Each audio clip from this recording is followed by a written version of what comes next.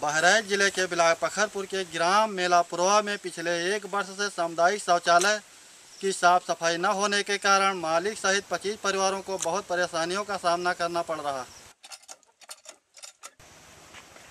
पहले मेलापुरा में था मेलापुरा कट गया घाघरा नदी में समाहित हो गया और वहाँ से आकर के बाँध पर घर बनाया गया। और बाँध पर आए तो यहाँ डीएम साहब ने आया तो देखा उन्होंने कि यहाँ बहुत तकलीफ़ है औरतों को शौचालय के लिए तो उन्होंने ये शौचालय बनवा दिए। उसके बाद आज तलक सफ़ाई कर्मी नहीं आवा और हम लोगों के यही समस्या है। आपके यहाँ शौचालय है? हाँ शौचालय बना में गंदगी बहुत है।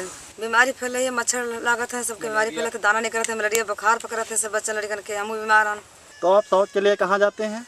खेतों में जाते थे उधर तो वो लोग गाड़ी देते हैं, भगाते हैं। शौचालय हमारे यहाँ का बहुत दिन से गंदा पड़ा है। गंदा पड़ा है इसलिए कि शौचालय में सन 2013 में शौचालय बना हुआ था। वो शौचालय बनने के बाद जो है सफ सफ़ाई नहीं हुई। एक बार कहा गया तो साल में केवल एक बार सफ़ाई कर्मी आया, साफ़ करके चला गया। उसके बाद सफ़ाई एक साल से ऊपर ऊपर हुआ है, साफ़ नहीं हुआ है शौचालय। बल्कि हर एक आदमी से कहलाया भी गया है सफ़ाई कर्मी को मंत्री जी से भी कहलाया गया है। हम लोग भी कहें लेकिन वो टार मटेर कर रहा है। हम लोग ये चाहते हैं कि ये शौचालय जो है स्वच्छ हो जाए साफ़ हो जाए। इससे हर एक प्रकार की बीमारियाँ चल रही हैं बीमारियों से मुक्ति मिल जाए। ये सामुदायिक शौचालय है?